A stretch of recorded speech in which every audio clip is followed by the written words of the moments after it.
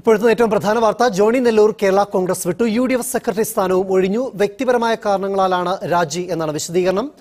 ഇപ്പോൾ മാധ്യമങ്ങളെ കാണുകയാണ്. ജോണി നെല്ലൂർ തത്സമയം. രാജി. U D F chairman Shri V D സതീശനും ഞാൻ കത്ത് അയച്ചിട്ടുണ്ട്. ഇത്രയും കാര്യങ്ങൾ പറയാനാണ്. എന്റെ ഭാവി പ്രവർത്തനങ്ങൾ ഒരു മൂന്ന് നാല് ദിവസത്തിനുള്ളിൽ പ്രഖ്യാപിക്കും. ഏതായാലും നിലവിലുള്ളൊരു പാർട്ടിയിലും ചേരാൻ ഉദ്ദേശിക്കുന്നില്ല.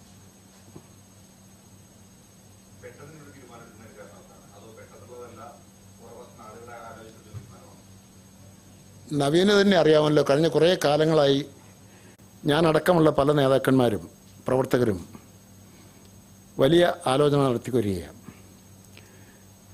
ഒരു ഒരു വർഷം മുമ്പാണ് ഞങ്ങൾ ആദ്യമായി തുടങ്ങി വെച്ചത് ഒരു ക്രൈസ്തവ ഐക്യം.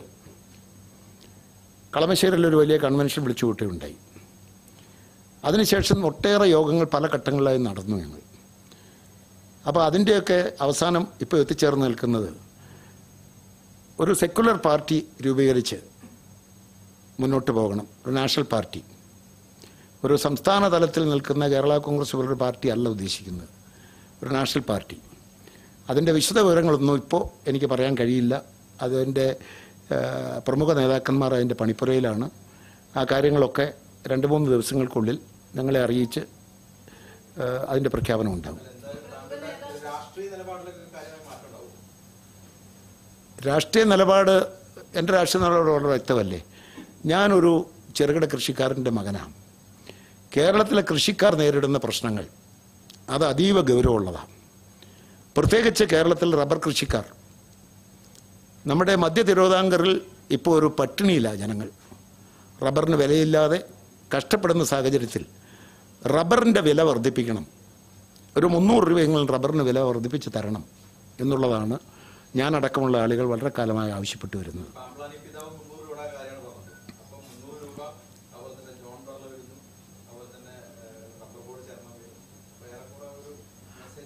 അതും ഇതുമായി ബന്ധമൊന്നുമില്ല. ഞാൻ എന്റെ പൊളിറ്റിക്കൽ നിലപാടാണ് ഞാൻ പറഞ്ഞത്.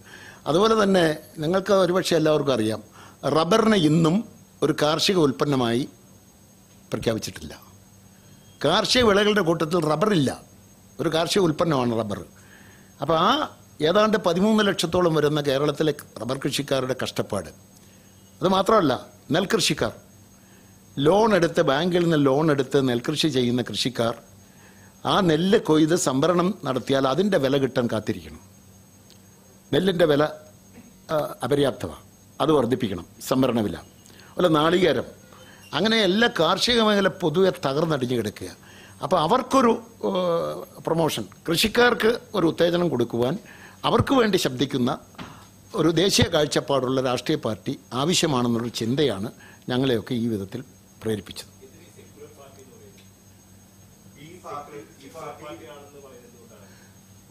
അതായത് ഇപ്പം ചില മാധ്യമങ്ങളൊക്കെ അറിഞ്ഞോ അറിയാതെയോ ക്രിസ്ത്യൻ പാർട്ടി വരുന്നു. ക്രിസ്ത്യൻ പാർട്ടി അല്ല വരാൻ പോകുന്നത്.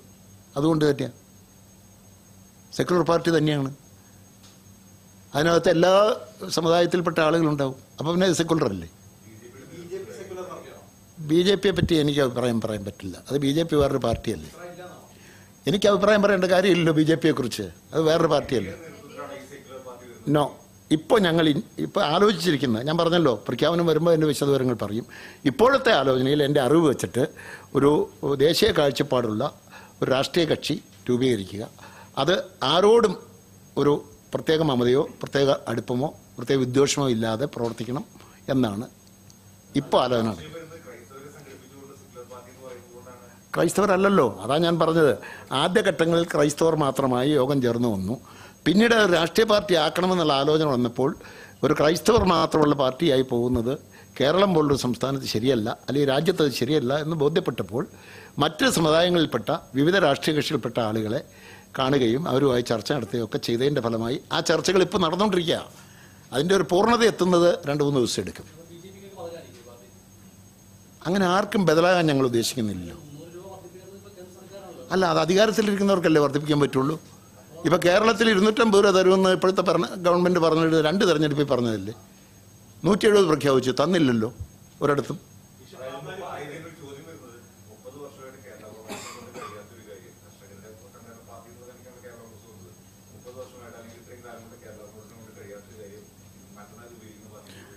നവീൻ ഒരു കാര്യം മനസ്സിലായോ? കേരള കോൺഗ്രസ്സിൽ കഴിഞ്ഞു. റബ്ബറിന് വിലയില്ലാതിരുന്നപ്പോൾ ആദ്യമായി കേരളത്തിൽ നൂറ്റി അൻപത് രൂപ റബ്ബറിന് തറവല പ്രഖ്യാപിച്ചത് കെ എം മാണി കൊണ്ടുവന്ന ബഡ്ജറ്റിലാണ് ഉമ്മൻചാണ്ടി മുഖ്യമന്ത്രിയായിരിക്കുമ്പോഴാണ് അറിയാമോ? അത് കൊടുത്തു കൃഷിക്കാർക്ക്. അപ്പോഴാണ് തെരഞ്ഞെടുപ്പ് വന്നപ്പോൾ ഇടതുപക്ഷവും രണ്ട് മുന്നണിയും പറയും ഇടതുപക്ഷം എന്താ പറഞ്ഞത്? ഞങ്ങൾ അധികാരത്തിൽ ഇരുന്നൂറ്റമ്പത് രൂപ പ്രഖ്യാപിക്കും. പ്രഖ്യാപിച്ചോ? നൂറ്റി എഴുപത് പ്രഖ്യാപിച്ചു. എവിടെയെങ്കിലും കൊടുത്തോ? നിങ്ങൾ അന്വേഷിക്കുക കബളിപ്പിക്കുകയല്ലേ കൃഷിക്കാരെ? പറ്റിക്കുകയല്ലേ കൃഷിക്കാരെ? കെ എം മാണി ചെയ്തു കേരള കോൺഗ്രസ് ചെയ്യാൻ പറ്റിയ സമയത്ത് ചെയ്തു. ആ ചെയ്തതിന്റെ ഫലം അന്ന് കൃഷിക്കാർക്ക് കിട്ടി. ഇപ്പോൾ കേരള കോൺഗ്രസ് കൃഷിക്കാർക്ക് വേണ്ടി തന്നെ നിലകൊണ്ട പാർട്ടിയാണ് അപ്പോൾ അത് പരിമിതികളേറെയുണ്ട്. അതുകൊണ്ടാണ് കുറേ കൂടി ഒരു ദേശീയ കാഴ്ചപ്പാടുകൂടി വേണം. ഭരിക്കുന്ന കക്ഷികൾക്കല്ലാതെ ഈ കാര്യത്തിൽ തീരുമാനമെടുക്കാൻ കഴിയില്ല. അപ്പോൾ അവർക്ക് നിവേദനം കൊടുക്കുകയും അവരെ കാണുകയും അവരെ സമ്മർദ്ദം ചെലുത്തുകയൊക്കെ ചെയ്താലേ നേടിയെടുക്കാൻ കഴിയുള്ളൂ. അല്ല അതിപ്പോൾ എനിക്ക് പറയാൻ കഴിയില്ല. അതൊക്കെ കാത്തിരുന്ന് കാണുക. ഉണ്ട്. അവരുടെ ഒന്നും പേരുകൾ ഇപ്പോൾ പറയില്ല. എല്ലാ പാർട്ടികളിൽ നിന്നുണ്ട് അത് സി പി ഐ നിന്നുണ്ട് സി പി എം നിന്നുണ്ട് മുസ്ലിം ലീഗ് നിന്നുണ്ട് എല്ലാ കക്ഷികളിൽ നിന്നുണ്ട് കേരള കോൺഗ്രസിന്റെ വിഭാഗങ്ങളിൽ കോൺഗ്രസ് കോൺഗ്രസിൽ നിന്നുണ്ട്. ഏത് ഏതിന്? ഞാനത് പറഞ്ഞില്ലല്ലോ. അന്നത്തെ സമീപനമാണോ ഇപ്പോൾ ഉള്ളതെന്നൊന്ന് ആത്മപരിശോധന നടത്തണമെന്നല്ലേ പറഞ്ഞുള്ളൂ. എന്ന് എന്ന് അത് അങ്ങനെ വ്യാഖ്യാനിക്കണ്ട. അത് ആത്മപരിശോധന നടത്തണമെന്ന് പറയുമ്പോൾ എല്ലാവരും ആത്മപരിശോധന നടത്തണം.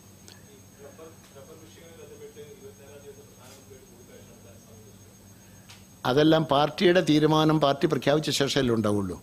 പാർട്ടി പ്രഖ്യാപനം കഴിയട്ടെ. പ്രധാനമന്ത്രി ഇന്ത്യയുടെ പ്രധാനമന്ത്രിയാ. ഇന്ത്യയുടെ പ്രധാനമന്ത്രിയെ കാണാനൊരു അവസരം കിട്ടിയാൽ അത് പ്രയോജനപ്പെടുത്തണ്ടേ? ഉണ്ടാക്കണമെന്നാണ് ആഗ്രഹിക്കുന്നത്. അതിപ്പോൾ ഞാനത് പറയാനൊരു ആളല്ല. അതിന്റെ നേതാക്കൾ അതിന്റെ പ്രധാനപ്പെട്ട ഉപദേഷ്ടാക്കൾ ഒക്കെ യോഗം ചേരുക. അവർ യോഗം ചേർന്നല്ലേ തീരുമാനം എടുക്കുള്ളൂ അതിപ്പോൾ ആ പേരുകളൊന്നും ഞാൻ വെളിപ്പെടുത്തുന്നത് ശരിയല്ല. ഞാനുണ്ടാവും ആ പുതിയ പാർട്ടിയിൽ. അത്രേ എനിക്ക് പറയാൻ കഴിയുള്ളൂ. അതൊന്നും ആ അത് തീരുമാനിക്കുന്നതിന് മുമ്പ് പദവി പറയാൻ പറ്റുമോ? ഏതായാലും നിങ്ങളോട് പറയാതെ ഓരോ ഒളിച്ചു കളി ഉണ്ടാവില്ല. സുതാര്യമായിട്ടേ പോവുള്ളൂ. എന്താ പറയണേ? അങ്ങനെ അങ്ങനെ പറഞ്ഞു നമ്മൾ ഇല്ലല്ലോ. കാര്യങ്ങളിൽ നമ്മൾ വെക്കുന്ന ഒരു റബ്ബർ മാത്രമല്ല നമ്മൾ പറയുന്നത് കേരളത്തിൽ ദുരിതമനുഭവിക്കുന്ന ദളിത് വിഭാഗങ്ങളുണ്ട്. പാവപ്പെട്ട ജനങ്ങളുണ്ട്. തീരദേശത്തെ മത്സ്യത്തൊഴിലാളികളുണ്ട്. അവർക്കിപ്പോൾ മണ്ണെണ്ണ പോലും കിട്ടുന്നില്ല. അവരുടെ ബുദ്ധിമുട്ടുകളില്ലേ? അപ്പോൾ അവരെല്ലാം അഡ്രസ്സ് ചെയ്യണം. അല്ല ഒരു റബ്ബർ മാത്രം കുറച്ച് വില വെച്ചുകൊണ്ട് വിഷയം പരിഹരിക്കുമോ ഈ ഞങ്ങൾ മുന്നോട്ട് വയ്ക്കുന്ന വിഷയങ്ങളൊക്കെ പരിഹരിക്കണം. അല്ലല്ലോ. ക്രൈസ്തവ സഭ എന്ന് പറഞ്ഞാൽ കേരളത്തിലുള്ള എല്ലാ ക്രൈസ്തവ വിഭാഗങ്ങളും ഉണ്ടെന്ന് കൂട്ടിക്കോ. അവരെ ഒന്നും ഞങ്ങൾ ഇതിലേക്ക് വലിച്ചഴിക്കുന്നില്ല. ഈ പാർട്ടി വരുമ്പോൾ സഭാ നേതാക്കന്മാർക്ക് പാർട്ടിയിൽ വരാൻ പറ്റൂ. അവരവരുടെ അഭിപ്രായങ്ങളൊക്കെ വേറെ തലത്തിൽ പറയട്ടെ. അതിപ്പോൾ എനിക്ക് എങ്ങനെയാണ് പറയാൻ കഴിയുന്നത്? പാർട്ടി ഉണ്ടായിട്ടെ അപ്പോൾ നമുക്ക് പാർട്ടിയും കേരളത്തിൽ മതരാഷ്ട്രീയ മേലധ്യക്ഷന്മാരെ മാറ്റി നിർത്തിയിട്ടുള്ള ഒരു ചർച്ച ഒരു പാർട്ടിക്കും നിലവിൽ കേരളത്തിലില്ല ഇവിടെ അങ്ങനെയൊന്നുമല്ല എല്ലാ രാഷ്ട്രീയ പാർട്ടികളും തന്നെ പറയണേ മതമാലധ്യക്ഷന്മാരെ തോന്നിയവാസമൊക്കെ വിളിച്ചു പറയുന്ന ആളുകളല്ലേ പലരും? ഞങ്ങളത് ഉദ്ദേശിക്കുന്നില്ല. അതെ അതെ. ആ പശ്ചാത്തലം ഞാൻ പറഞ്ഞല്ലോ എന്റെ ബാക്ക്ഗ്രൗണ്ട് അന്ന് അങ്ങനെ ഒരു ചിന്ത ഒരു ക്രൈസ്തവ കൂട്ടായ്മയാണ് അന്ന് ഉണ്ടാക്കിയത്. ആ കൂട്ടായ്മയൊക്കെ പല ഘട്ടം ചർച്ച ചെയ്ത് ചർച്ച ചെയ്ത് ഇന്നത്തെ രാഷ്ട്രീയ സാഹചര്യത്തിൽ ഒരു രാഷ്ട്രീയ പാർട്ടി ഉണ്ടാക്കണം എന്നുള്ള ചിന്ത വന്നു. ആ ചിന്തയാണിപ്പോൾ ഗൗരവതലത്തിൽ ആലോചിക്കുന്നത്. എന്തോ? എല്ലാ മതമേലധ്യക്ഷന്മാരെയും ഞങ്ങൾ ആദരിക്കും ബഹുമാനിക്കും. ഒരാളെയും ഞങ്ങൾ പുലഭ്യം പറയില്ല ചീത്ത പറയില്ല. തുടക്കം അവിടെയാണ് ഞാൻ പറഞ്ഞത്.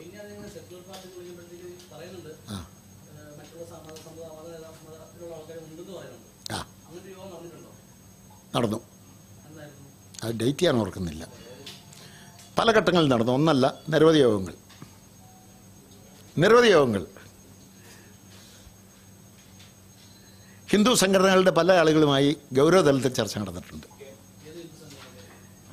ഹിന്ദു ഒരു ഹിന്ദു പാർലമെന്റ് ഉള്ളതറിയാമല്ലോ ബി ജെ പിയുടെയോ?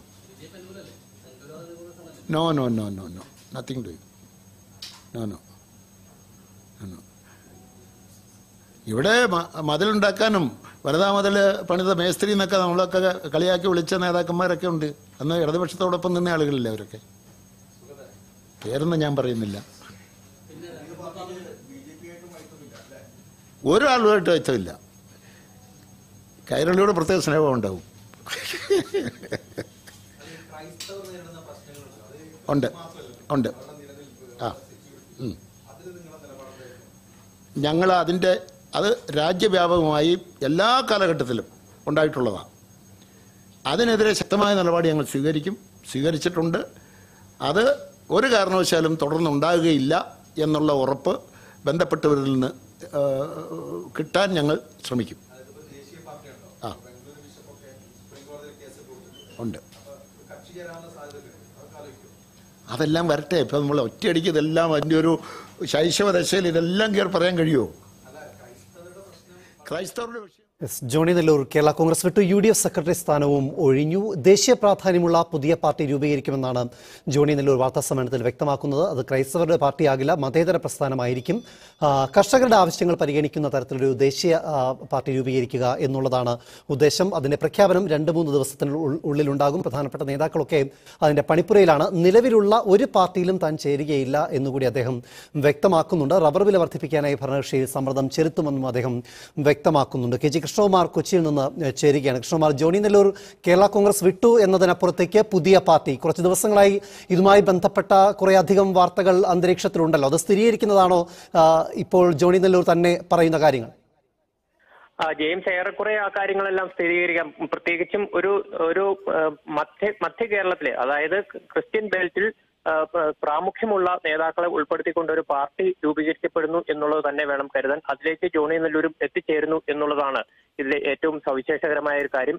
ജോണി നെല്ലൂർ ഇത്തരത്തിൽ ഈ ഇത്തരത്തിലൊരു പാർട്ടിയിലേക്ക് നീങ്ങുന്നു എന്നുള്ള സൂചനകൾ ഇല്ലായിരുന്നുവെങ്കിലും കോൺഗ്രസ് യു ഡി എഫിലും കേരള കോൺഗ്രസിലും പൊതുവെ ജോണി നെല്ലൂർ അതൃപ്തനായിരുന്നു. പ്രത്യേകിച്ചും തെരഞ്ഞെടുപ്പ് രാഷ്ട്രീയത്തിൽ അടക്കം കഴിഞ്ഞ തെരഞ്ഞെടുപ്പ് സമയത്ത് അടക്കം ജോണി നെല്ലൂരിന്റെ പേര് പല സീറ്റുകളിലേക്കും പരിഗണിച്ചു കേട്ടെങ്കിലും ഈ സീറ്റുകളിലേക്കൊന്നും ജോണി നെല്ലൂരിനെ എത്തിച്ചേരാൻ കഴിഞ്ഞില്ല. അല്ലെങ്കിൽ സീറ്റ് നൽകുന്ന ഒരു സാഹചര്യവും ഉണ്ടായില്ല. ആ അതൃപ്തി ഇത്തരത്തിൽ ഒരു പുതിയ രാഷ്ട്രീയ സാഹചര്യം ഉരുത്തിരിഞ്ഞപ്പോൾ പുതിയൊരു രാഷ്ട്രീയ പാർട്ടി രൂപീകരിക്കപ്പെടുമ്പോൾ അതിലേക്ക് എത്തിച്ചേരാം എന്നുള്ള ഒരു തീരുമാനത്തിലേക്ക് ജോണി നെല്ലൂരും അവസാനമായി എത്തിച്ചേരുകയായിരുന്നു. ഏതായാലും മധ്യ കേരളത്തിലെ ഒട്ടേറെ രാഷ്ട്രീയ നേതാക്കളുടെ പേരുകൾ ഈ പുതിയ പാർട്ടിയിലേക്ക് പരിഗണി ഉയർന്നു കേൾക്കുന്നുണ്ട്. അതിൽ ഈ പ്രകടമായി പരസ്യമായി രംഗത്തേക്ക് വന്ന ഒരാൾ ഇപ്പോൾ ജോണി നെല്ലൂരാണ് എന്ന് പറഞ്ഞ് പറയേണ്ടിയിരിക്കുന്നു. നമ്മൾ ജോണി നെല്ലൂരിന്റെ വാർത്താ സമ്മേളനം ശ്രദ്ധിച്ചാൽ ഒരു കാര്യം വ്യക്തമായിരുന്നു. ഈ ഒരു മതേതര പാർട്ടിയായി ആയി തന്നെ ആയിരിക്കും ഇത് വരിക. അതല്ലാതെ ക്രൈസ്തവ ന്യൂനപക്ഷ വിഭാഗങ്ങളെ യോജിപ്പിച്ച് നിർത്തുന്ന ഒരു പാർട്ടി എന്നതിനും അപ്പുറം ഒരു മതേതര പാർട്ടിയായി തന്നെ ആയിരിക്കും ഇത് വരിക എന്ന് ജോണി നെല്ലൂർ പറഞ്ഞു. എന്നാൽ ഈ പാർട്ടിക്ക് ഏതെങ്കിലും നിലവിലെ രാഷ്ട്രീയ പാർട്ടികളുമായി ബന്ധമുണ്ടാകില്ല എന്ന് പറഞ്ഞു പറഞ്ഞുവെങ്കിലും ബി ജെ പിയെ ഏതെങ്കിലും തരത്തിൽ എതിർക്കുന്ന ഒരു ചോദ്യങ്ങൾ അത്തരത്തിലുള്ള ചോദ്യങ്ങൾ ഉയർന്നപ്പോഴെല്ലാം ഒരു രാഷ്ട്രീയ പാർട്ടി എന്നുള്ള നിലയിൽ ബി ജെ പിയുമായി ബി ജെ പിയുടെ രാഷ്ട്രീയ നിലപാടുകളെ പറ്റി അഭിപ്രായം തൽക്കാലം പറയാനില്ല എന്നുള്ള നിലപാടാണ്. കൃഷ്ണ അതായത് നേരത്തെ ഉയർന്നു കേട്ടത് ബി ജെ പിയുടെ ഒരു സഖ്യ പാർട്ടി എന്ന തരത്തിൽ ചില പേരുകൾ കൂടി N P P national progressive party അങ്ങനെ ഒരെണ്ണത്തിന്റെ രൂപീകരണം ഉടനെ ഉണ്ടായേക്കും എന്നൊക്കെയുള്ള വാർത്തകൾ സജീവമായിരുന്നല്ലോ. മധ്യത്തിൽ നിന്നുള്ള ചില എം എൽ എമാരടക്കം അതിന്റെ ഭാഗമാകുന്നു എന്നും കേട്ടിട്ടുണ്ടായിരുന്നു കേരള കോൺഗ്രസ് നേതാക്കളടക്കം. ആ, ആ തരത്തിൽ ആണോ ഇരുപത്തിരണ്ടിന് കൊച്ചിയിൽ പ്രഖ്യാപനം ഉണ്ടാകും എന്നൊക്കെ ചില സൂചനകൾ വരുന്നുണ്ടായിരുന്നല്ലോ? അത് അത്തരത്തിൽ തന്നെയാണോ മനസ്സിലാക്കേണ്ടത്? ഇപ്പോൾ ജോണി നെല്ലൂർ പറയാതെ പറയുന്നതും അത് തന്നെയാണോ? തീർച്ചയായും അത്തര അത്തരത്തിൽ തന്നെ ഒരു രാഷ്ട്രീയ പാർട്ടിയിലേക്ക് നീങ്ങുന്നു എന്നുള്ളത് തന്നെയാണ് മനസ്സിലാക്കേണ്ടത്. കാരണം നേതാക്കന്മാർ പല പലരുടെയും പേരുകൾ ഇത്തരത്തിൽ ചർച്ച ചെയ്യപ്പെട്ടു. ബി ജെ പി തന്നെ ബി ജെ പിയിലെ നേതാക്കൾ തന്നെ ഇതിൽ ഇതിലേക്ക് പ്രത്യേക താല്പര്യം എടുത്ത് ഇത്തരത്തിലുള്ള യോഗങ്ങൾ പല സ്ഥലങ്ങളും വിളിച്ചു ചേർക്കുകയും അത്തരത്തിലുള്ള ആശയവിനിമയങ്ങൾ ഉണ്ടാവുകയും ചെയ്തിട്ടുണ്ട്. ഏതായാലും ഇത് ബി ജെ പി എതിർക്കുന്ന ഒരു പാർട്ടി ആയിരിക്കില്ല. എല്ലാവരോടും ഒരേ സമീപനമാണ് എന്ന് പറയുമെങ്കിൽ കൂടിയും ബി ജെ പി ഒരു തരത്തിലും എതിർക്കാൻ അല്ലെങ്കിൽ എതിർ ശബ്ദങ്ങൾ ഒന്നും ഉയർത്താതെയാണ് ജോണി നെല്ലൂർ അത്തരത്തിലുള്ള ചോദ്യങ്ങളോട് സംസാരിച്ചത് പ്രതികരിച്ചത് എന്നുള്ളതും ഏറെ ശ്രദ്ധേയമായ ഒരു കാര്യമാണ്. മാത്രമല്ല ഇപ്പോൾ സഭാതലത്തിൽ ക്രൈസ്തവ സഭകൾ ഉയർത്തിക്കൊണ്ടുവന്ന ഒരു വിഷയം അത് ഏറ്റവും പ്രധാനപ്പെട്ട ഒരു വിഷയമായി തന്നെ അവർ ഉയർത്തിക്കൊണ്ടുവന്ന റബ്ബറിന്റെ താങ്ങുവില ഉൾപ്പെടെയുള്ള വിഷയമാണ്. അത് തന്നെയാണ് ഈ സംഘ ഈ പുതുതായി വരുന്ന സംഘടനയും അതല്ലെങ്കിൽ ജോണി നെല്ലൂർ ഉൾപ്പെടെയുള്ളവരും ഉയർത്തിക്കാട്ടുന്നത് എന്നുള്ളതും ആ ഒരു വിഷയമാണ് ഏറ്റവും പ്രാമുഖ്യമുള്ള വിഷയം എന്ന് ചൂണ്ടിക്കാട്ടിക്കൊണ്ട് കർഷകരുടെയും റബ്ബർ കർഷകരുടെ പ്രത്യേകിച്ചും ഉള്ള ഉള്ള പ്രശ്നങ്ങളിലേക്ക് വിരൽ ചൂണ്ടിക്കൊണ്ട് തന്നെയാണ് ഈ വാർത്താ സമ്മേളനത്തിൽ ജോണി നെല്ലൂരും സംസാരിച്ചത് എന്നുള്ളതും ഏറെ ശ്രദ്ധേയമാണ്. നേരത്തെ ജെയിംസ് സൂ- സൂചിപ്പിച്ച ചോദ്യത്തോട് യോജി ഏറെ യോജിക്കുന്നതാണ്. അതായത് ഇത്തരത്തിൽ ഒരു രാഷ്ട്രീയ പാർട്ടി അത് ഒരു അതിന്റെ ഒരു സമീപനം തീർച്ചയായും. ബി ജെ പിയുടെ രാഷ്ട്രീയ സമീപനത്തോട് ചേർന്ന് നിൽക്കുന്ന രീതിയിലേക്കുള്ള ഒരു സമീപനം തന്നെ ആയിരിക്കും എന്നുള്ള സൂചനകൾ ഈ വാർത്ത പ്രകടമാണ്. കെ ജെ കൃഷ്ണകുമാർ കൊച്ചിയിൽ നിന്ന് ജോണി നെല്ലൂർ കേരള കോൺഗ്രസ് വിട്ടു. ദേശീയ പ്രാധാന്യമുള്ള പുതിയ പാർട്ടി രൂപീകരിക്കുമെന്നും ജോണി നെല്ലൂർ.